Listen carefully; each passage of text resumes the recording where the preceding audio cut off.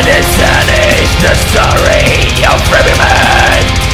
I am the darkness and despair